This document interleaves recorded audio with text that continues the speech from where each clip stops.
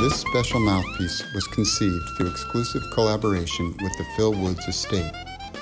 The geometry is identical to Phil's mouthpiece and offers the player something new in their experience.